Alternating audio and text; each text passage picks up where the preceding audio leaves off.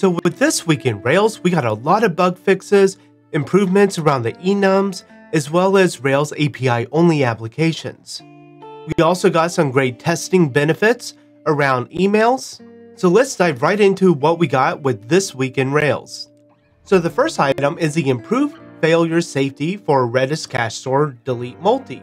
And this is a situation where you were calling the Rails cache delete multi so you're deleting multiple keys on the cache server, and if the Redis cache server is down, then that's actually going to cause an error. So with this fix, we won't get those exceptions raised, and things would be handled a bit more gracefully. The next one is the drop enum is always reversible, and this one's pretty interesting because recently we did get the PostgreSQL native enums, and with that, we were able to add the enums so you create a data type enum that can be used by the Rails application. But then for each enum that you want to use, you have to create a migration to add those enums into the database. Whereas before in Rails, we would just have a hash or something similar where we would create our enums and that would refer back to an integer column on the database or something similar. And if we wanted to delete an enum on our database, where we had the data type as an integer, we would simply just remove that key from our hash and then update all the records that were using that enum. But with the enum data type, we needed a way that we could then reverse back any enums that were added. And so with this bug fix, if we had the if exists true option set, then it was not reversible. And the next item with fix e-tags with Flash, when there is no Flash middleware available, this is commonly found in situations where you have a Rails-only API application. And so this will overall make our API-only Rails applications a bit more stable. And then we have the improvements, and this one's really interesting because I did not even know that this was a test helper that we had to ensure that mailers were being generated. So this one's really cool and I'm really excited for this one because I'm going to start using this in my applications in areas I'm sending out emails. But with this PR, the assert enqueued email with did not support testing mailers enqueued with both parameters and arguments.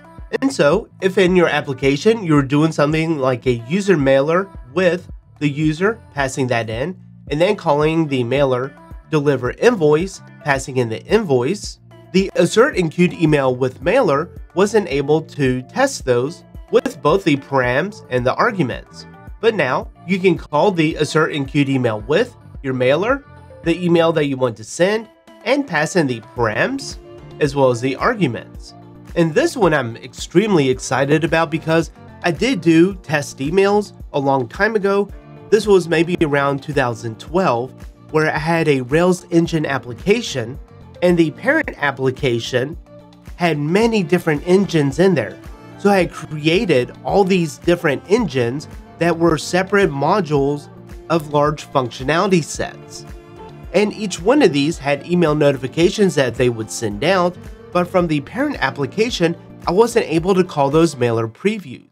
So with this PR, we're now able to preview emails that were generated or being generated from our engines. And lastly, we got the log redirects from router simply to controller redirects. And this one's pretty interesting because I've seen this situation a few times where let's say we have these routes set up we have a move that goes to the welcome index. We then have a redirect to a controller, regular controller, and the redirect action. And then to the root path, we're redirecting to move. In our application, when we go to our root path, that then gets redirected to the move.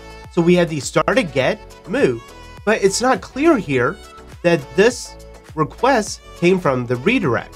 So instead, what's going to happen when we get the root path, we see that we are redirected and then to the move endpoint. And then what appears to be a second request, we then get the get move. And so this is pretty cool and I'm a big support of these kind of improvements because as we are debugging an application, it's very difficult to see some of the different things that's going on and trying to figure out what actually happened when a user reports a bug and we're going back into the logs to try to figure out what actually happened. So this will give us a bit more insight in these particular situations where you have a redirect. And so that's all for this week in Rails. And I really appreciate all the work that people have done to make Rails a better framework. And so one thing I'm going to start doing at the end of these videos to give a shout out to all the different contributors that has helped make Rails better. And so some of these names are familiar, but to the ones that I don't recognize or to the ones that are first committers, I really want to thank you for your contributions to the Rails framework. It is by far my most favorite framework and I really appreciate all the work that you have done. Well, that's all for this week in Rails. Thanks for watching.